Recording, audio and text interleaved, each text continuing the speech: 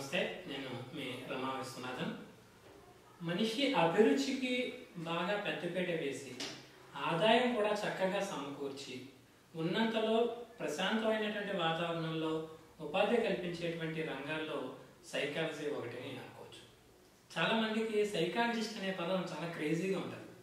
సైకాలజిస్టులు రకరకాల పనులు చేస్తూ ఉండడము సినిమాల్లోనూ అదే రకంగా వెబ్ సిరీస్లోనూ కూడా సైకాలజిస్టుల ద్వారా సమాజంలో పెద్ద పెద్ద మార్పులు జరగడం ఇవన్నీ చూసి సైకాలజిస్ట్ అవుదాం అనుకునేటువంటి పిల్లల సంఖ్య కూడా మనకి కనిపిస్తుంది. అయితే నిజ జీవితంలో సైకాలజిస్ట్ అవ్వాలంటే ఏం చేయాలి? సైకాలజిస్ట్ కోర్సులు ఎక్కడ లభ్యమవుతున్నాయి? సైకాలజిస్ట్కి కెరీర్ ఎలా ఉంటుంది? ఈ విషయాలని ఈ వీడియోలో చూద్దాం. సైకాలజీ సైకియాట్రీ ఈ రెండింటికి ఉన్న పదాలు కూడా మనం డిఫరెన్స్ చూడాలి. సైకాలజీ అంటే ఏంటంటే మనస్తత్వ శాస్త్రం. మనిషికి మిగిలిన జంతువులకి ప్రాథమికంగా ఉండేటువంటి తేడా ఏంటంటే మెదడుతోటి ఆలోచించడం అనేటువంటిది కేవలం మనిషికి మాత్రమే సాధ్యం. మిగిలినటువంటి జంతువులు కానీ వృక్షాలు కానీ అటువంటి పరిష్కారం అటువంటి పరిస్థితి పెద్దగా ఉండదు కాబట్టి వాటి నుంచి పోల్చినట్లయితే మానవుడు తెలివైనటువంటి జీవి కింద మనగలుగుతున్నాడు.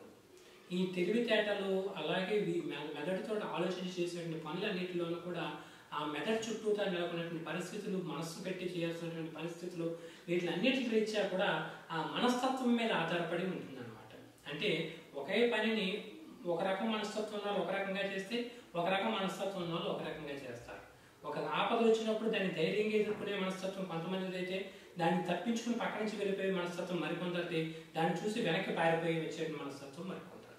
ఇట్లా డిఫరెంట్ మనస్తత్వాలు ఉన్నటువంటి వ్యక్తులు అలాగే ఆ మనస్తత్వాల రీత్యా ఏర్పడేటువంటి స- ఆ సమస్యలు పరిష్కారాలు ఇవన్నీ కూడా మనస్తత్వ శాస్త్ర నిపుణులు దాన్ని డీల్ చేస్తూ ఉంటారు అనమాట అయితే ప్రస్తుత కాలంలో ఆధునిక కాలంలో పని అంతా కూడా ఆఫీస్లో ఉండేటువంటి పని విధి విధానాలన్నీ కూడా రకరకాల ఒత్తిడితో కూడుకునేవి. టార్గెట్తో నిమిడి ఉండడంతో ఆయా ఆఫీసులు లేదా మల్టీనేషనల్ కంపెనీ అన్నింటిలోనూ కూడా సైకాలజిస్టుల అవసరం పెరుగుతుంది. అందుకే ఎప్పటికప్పుడు పెద్ద పెద్ద మల్టీనేషనల్ కంపెనీలు ఎప్పటికప్పుడు మ్యాన్ పవర్కి ట్రైనింగ్ సెషన్స్ కంటిన్యూగా నిర్వహిస్తున్నారు. వాళ్ళని ఎప్పటికప్పుడు వాళ్ళ నైపుణ్యాలు పెంచడం అనేటువంటిది ఎప్పటికప్పుడు టైం ప్రకారం పనిచేసేటువంటి అలవాటు చేయడం అనేటువంటిది ఈ ట్రైనింగ్ సెషన్స్ యొక్క ఉద్దేశం అనమాట ఈ ట్రైనింగ్ సెషన్స్లో ఈ మనస్తత్వ నిపుణులకి ప్రాధాన్యం ఉంటుంది. రెండవది ప్రస్తుత ఆధునిక కాలంలో స్కూల్స్ కాలేజీల మీద ఒత్తిడి బాగా ఎక్కువగా ఉంటుంది. పిల్లల్ని బాగా చదివించాలి మంచి స్థాయిలో చూడాలని పేరెంట్స్ అందరూ కోరుకుంటున్నారు కాబట్టి స్కూల్స్లోనూ కాలేజీల్లోనూ పిల్లల మీద ఒత్తిడి ఎక్కువగా ఉండడంతో పెద్ద పెద్ద స్కూల్స్ కాలేజీల్లో ఖచ్చితంగా ఒక సైకాలజిస్ట్ని అపాయింట్ చేసుకోవాల్సి వస్తుంది. అంటే మిగిలిన సబ్జెక్ట్ టీచర్స్తో పాటు పాటుగానే ఒక సైకాలజిస్ట్ యొక్క అవసరం ప్రతి స్కూల్లోనూ కాలేజీల్లోనూ కూడా కనిపిస్తుంది. ఇది కాకుండా చూసుకున్నట్లయితే కనుక ప్రతి మనిషి కూడా బయట మా మార్కెట్లోను లేనట్లయితే సొసైటీలోను కూడా చూసుకున్నట్లయితే చిన్న చిన్న వాటికే గబగబా పెళ్ళిళ్ళు చేసుకోవడం చిన్న చిన్న వాటికి విడిపోవడం ఇంట్లో బయట కూడా చీటికి మాటికి గొడవలు పడడం ఇలాంటి వాతావరణం అనేటువంటిది బాగా పెరుగుతున్నటువంటి రీత్యా సైకాలజిస్ట్ని కలవడం అనేటువంటిది పెరుగుతుంది. అందుచేత ప్రాక్టీస్ పెట్టుకునేటువంటి సైకాలజిస్టులు కౌన్సిలర్లు వీళ్ళని కూడా మనం మార్కెట్లో చూస్తుంటాం. ఇటువంటి సైకాలజిస్టులు కౌన్సిలర్లకి కూడా రాను రాను డిమాండ్ అంతకంతకు పెరుగుతుంది. సో ఇన్ని నేపథ్యాలలో సైకాలజిస్ట్కి అవకాశం అనేటువంటిది కెరీర్ని మార్చుకునేటువంటి అవకాశం కనిపిస్తుంది. అయితే సైకాలజిస్టు సైకియాట్రిస్టు ఈ రెండింటికి తేడా ఉంది. సైకాలజిస్టు అంటే మనిషి యొక్క మనస్తత్వాన్ని అధ్యయనం చేసి ఆ మనస్తత్వం ఏ రకంగా ముందుకు వెళ్తుంది అనేది విశ్లేషణ చేసి దానికి తగినట్లు కౌన్సిలింగ్ ఇచ్చి పరిహారాలు చూసేది మనస్తత్వ శాస్త్రం. దీన్ని సైకాలజీ అంటారు. మామూలు గ్రాడ్యుయేషన్ సైన్స్ గ్రాడ్యుయేషన్ నుంచి దీనికి వెళ్తూ ఉంటారు సైకియాట్రిస్ట్ అంటే మెదడు అనేటువంటిది మనిషి శరీరంలో ఒక నిర్మాణం కింద భావించి ఆ మెదడుకు న్యూరాలజీ న- నరాలకు వీటికి సంబంధించిన ఆలోచనలు వాటి డిజార్డర్లు వీటి వల్ల వచ్చే సమస్యల మీద మందులతో పరిష్కారం చేసేటువంటి వైద్య శాస్త్ర నిపుణుల్ని సైకియాట్రిస్ట్ అంటారు. అంటే ఎంబీబీఎస్ పాస్ అయిన తర్వాత వారు ఎంబీ కానీ లేదా పీజీ డిప్లొమా కానీ ఆ సైకియాట్రీ విభాగంలో చేసినటువంటి వారిని సైకియాట్రిస్ట్ అంటారు. మానసిక వైద్య నిపుణులు. వీరు సూపర్ స్పెషాలిటీ హాస్పిటల్లో పనిచేస్తూ ఉంటారు. అది కాకుండా ప్రత్యేక మానసిక వైద్య ఆలయాలు ఉన్నాయి. అలాగే మానసిక వైద్యుల నర్సింగ్ హోమ్లు వీటిలో వాళ్ళు సేవలు అందిస్తూ ఉంటారు.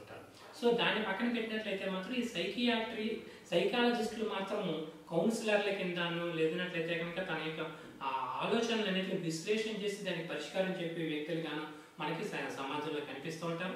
ఈ సైకాలజీ అనేటువంటిది ప్రస్తుతం గ్రాడ్యుయేషన్ స్థాయిలో కూడా అందుబాటులోకి వచ్చేది. బిఏ సైకాలజీ బిఎస్సి సైకాలజీ ఇలాంటివి చదవచ్చు. ఇంటర్మీడియట్ పూర్తయిన తర్వాత సైన్స్తో కానీ లేదా ఆర్ట్స్తో కానీ చేసినట్లయితే బిఏ సైకాలజీకి బిఎస్సీ సైకాలజీకి వెళ్ళొచ్చు.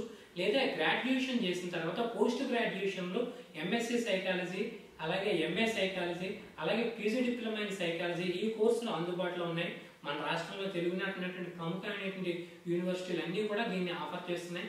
అలాగే జాతీయ స్థాయిలో కూడా అత్యున్నత స్థాయి యూనివర్సిటీలు ఈ కోర్సులు ఆఫర్ చేస్తున్నాయి.